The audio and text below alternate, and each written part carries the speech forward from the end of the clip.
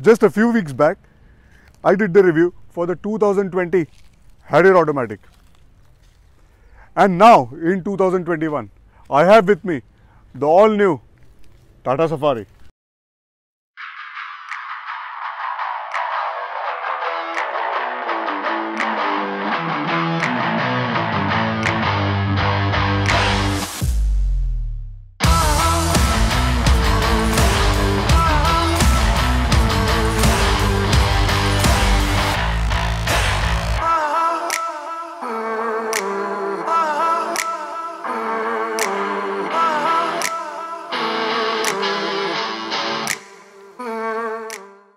Tata Motors played a masterstroke by announcing the 7-seat version of the Harrier will be called the Safari.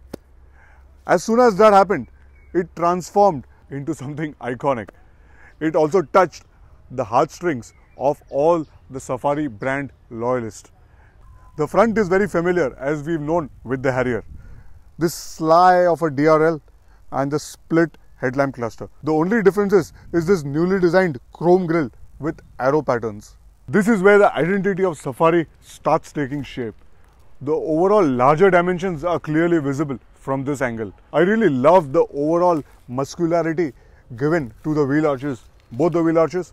Uh, I would have probably liked if uh, Tata Motors would have explored giving the side cladding as well, but that may come in as an optional extra accessory, you never know. Nonetheless, the roof rails and the D-pillar design is really complementing the funky rear quarter glass. Coming to the rear, this is where the Tata Safari gets its own identity. The tailgate is much more upright in its stance and you get all new tail lamp clusters as well. To be honest, from the rear, it does remind me of the previous Safari Storm. Overall, the exteriors of the all new Safari are very handsome, but I do have some critical feedback on the exteriors because there should have been slightly more, uh, you can say, design oriented uh, effort to make the Safari look different from the Harrier. For instance, the font, the Safari font is very much similar, if not same, to the Harrier's font.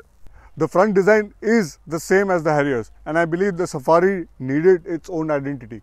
The alloy wheel design is the same as the Harriers, though it has gained one inch in uh, size, but overall there should have been a bit more effort by the design team of Tata to give the Safari its own identity, at least with new design rims. I know we have rear disc brakes which is not present in the Harrier, but more on that in our next segment, the driving segment.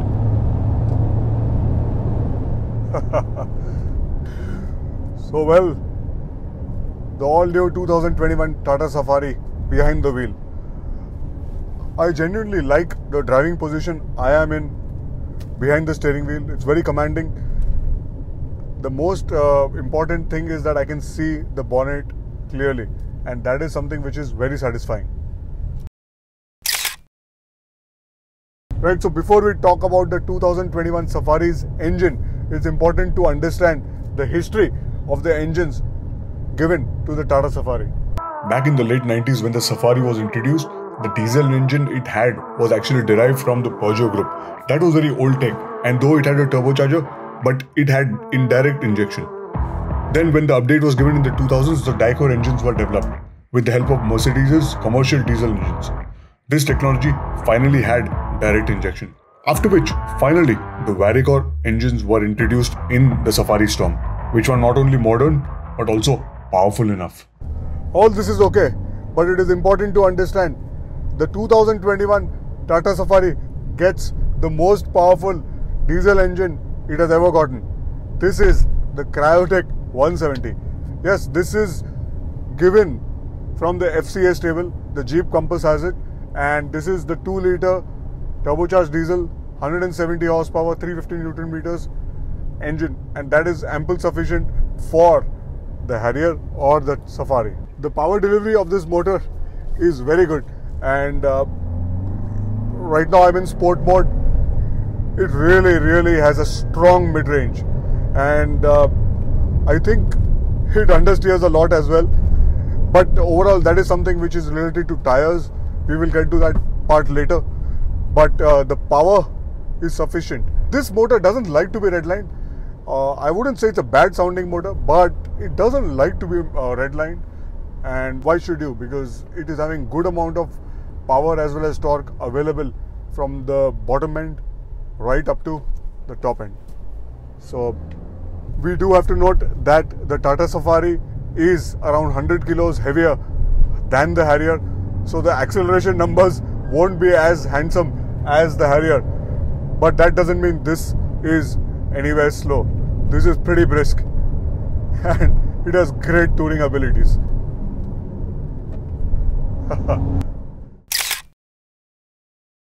the Safari is available both in the manual as well as the automatic variants. This one is, as you can see, an automatic. So I would say the smoothness is very good.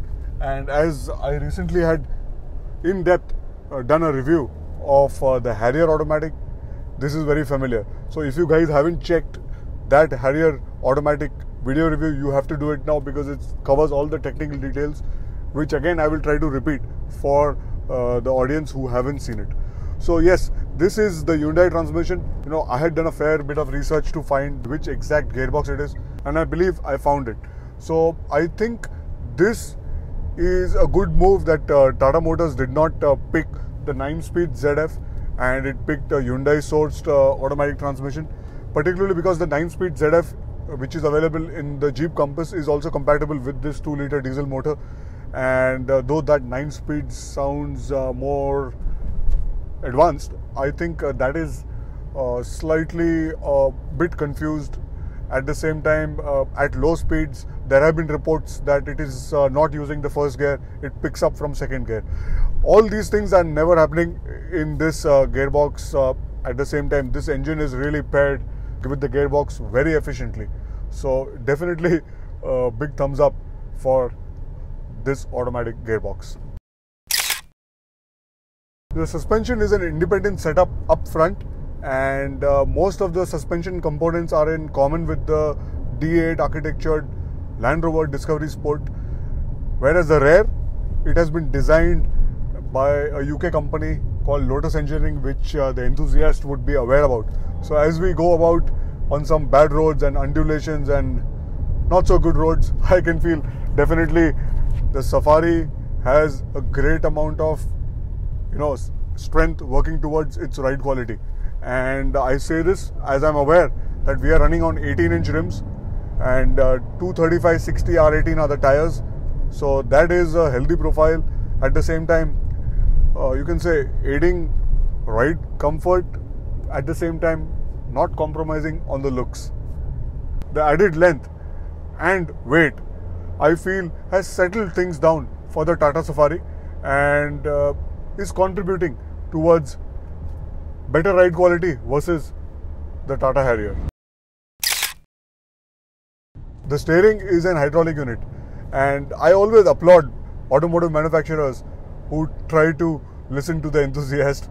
And uh, though hydraulic units, the hydraulic power steering units, are not really uh, friendly at low speeds or at parking speeds, but they definitely reward you well at high speeds. So I think uh, it's a big thumbs up for Tata Motors in for thinking in this direction. The suspension, though it is comfort oriented, I genuinely feel it is not bad at all for high speed driving and it does offer good amount of confidence while you're actually entering corners or maybe exiting them or changing directions. Uh, yes, you can't be really stupid, but uh, with the overall construction of the chassis being a monocoque and uh, this is a very modern architectural platform what uh, the Safari is. Uh, with this suspension and the hydraulic steering, I feel it is doing a great job. The brakes are also upgraded and now we get rear disc brakes. So this all adds to the handling capabilities and is confidence inspiring at higher speeds.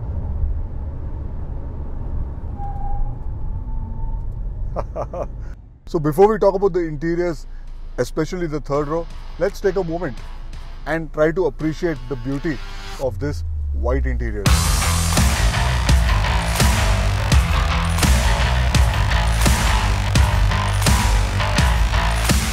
So the third row is where most of the development of Tata Motors has gone in to get the all-new Safari. I have a passenger sitting in front of me, and I believe he's not feeling uncomfortable, nor am I. And uh, there is decent amount of leg room.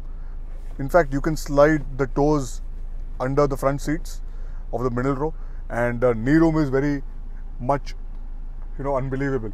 But I think uh, as soon as uh, the long journey start, the middle row passenger would want to take his seat slightly more uh, behind and adjust the backrest angle to make him feel more comfortable.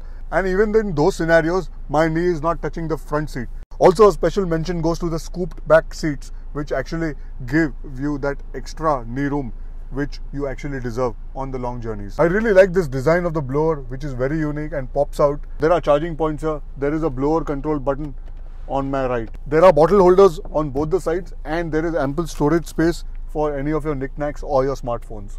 Okay, now before we get to the middle row, I just noticed that there is a subwoofer right next to me on the left. So to get to the middle row, the most easy way is to travel through this area and comfortably get yourself seated on the middle row or to get behind again you have to travel through the same area it is interesting to note that even with the wheelbase remaining same the space for the middle row passengers is very strong and it gets better as soon as you use the boss mode to get this seat up ahead. So now it's ample sufficient and I genuinely feel it is probably the best in class. You can also recline the angle to be very much feeling bossy yourself and look yourself up and look at the panoramic sunroof which Tata Motors call the Sky Dome. Right, now the front row. So if I recollect correctly, the design of the Harrier is almost the same, just that the wood treatment used in the Harrier's dashboard was lighter, whereas in this it's much more darker, almost uh, the ash wood has been used. The other major change is that the fancy handbrake is now gone and replaced with an electronic handbrake switch with the very useful auto hold feature. To sum up the interior, yes, overall thanks to the oyster white seats and plastics, the interior of the Safari not only feels airy but also more premium, exclusive and expensive compared to the Harrier. So this segment has been designed to help you make your buy decisions easier. And starting off with the strengths. The Safari brand has been reclaimed and that is a major strength for this all new Safari which has been brought in in 2021 by Tata Motors. So branding this product, the Safari, has cemented its success for Tata Motors. So it definitely is a strength. The engine and gearbox combination is surely a major strength for the all new Safari. The 2 liter diesel engine is very competent and the pairing with this 6 speed Hyundai transmission has been a flawless experience for the drivers as well as the passengers because it's never really jerky and always smooth and really never confused to be honest. So overall this engine gearbox combination is surely a strength. This car is very feature packed and my favorite being the JBL sound system it sounds fantastic and uh, that really needed a special mention. Overall uh, the combination of features on offer as i said the jbl music system uh, the connected features or the panoramic sunroof which uh, tata motors call it the sky dome. So this all and as a package the features it offers is definitely a strength for the 2021 tata safari the build and strength is definitely a strength for the 2021 tata safari. It feels well put together very solid and uh, the safety kit is also good amount of safety for 2021 standards. So this combination surely is turning into a strength for the Tata Safari. No four-wheel drive or an all-wheel drive option is surely a weakness and not working in favor of the Safari brand. So I had to put it into the weakness as I initially said this is a monocoque construction the original Safari was a body on frame SUV so that probably will be, if uh, not a strength, but you know, for the enthusiast, they may see it as a weakness. And also, if you remember, that was a rear wheel drive. This one is a front wheel drive. So again, the body on frame construction the true blue SUV enthusiasts still prefer. And this being converted into a monocoque, having a Safari branding, so that may actually somewhere for the enthusiast be seen as a weakness. The rear camera quality and the 360 degree camera option not being there is sort of a weakness. I, I would be okay with the 360 degree camera not being there, but the rear camera quality is just average. This is a good opportunity for Tata Motors to gain back on the lost sales of customers of Harrier who had wanted six or seven seat options in the Harrier. So definitely Tata Motors with the Safari 6 and 7 seat offerings can get back those lost customers. Safari EV as this platform supports electric vehicles you won't be surprised that some point of time there will be a all electric Safari and a Safari EV will always remain as an opportunity for Tata Motors with this current platform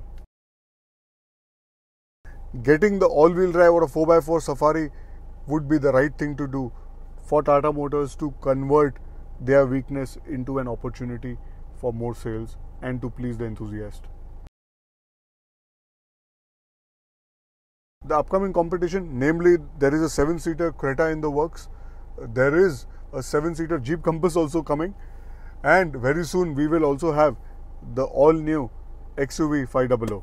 So those will surely uh, be a threat to sales for the 2021 Tata Safari.